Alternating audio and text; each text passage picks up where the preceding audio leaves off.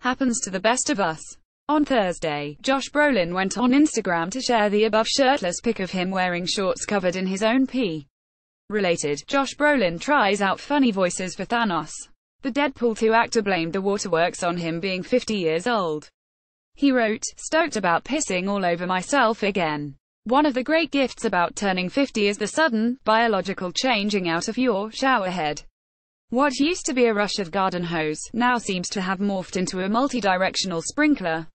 Just want to let everyone know what there is to look forward to, those who haven't reached this incredibly illuminating milestone. Happy birthday Eddie leader of the Euronation, image via Josh Brolin, Instagram, tags, film flickers, funny, Instagram, Josh Brolin, oops, shirtless, silly, Super Seniors. 13 horror movies you can stream on Netflix today. Secret celebrity movie cameos. Movies that had post-credits scenes way before Marvel. Jennifer Lopez family dream come true more, this week in celebrity twit pics Instagrams. Stars we lost in 2018 Best Celebrity Movie Couples Who Never Dated IRL